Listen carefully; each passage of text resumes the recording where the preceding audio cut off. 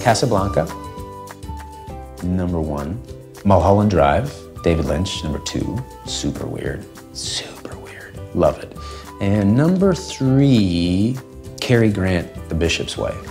This slightly obscure Christmas movie, but just something about it. I watched it every year as a kid growing up and I just loved it.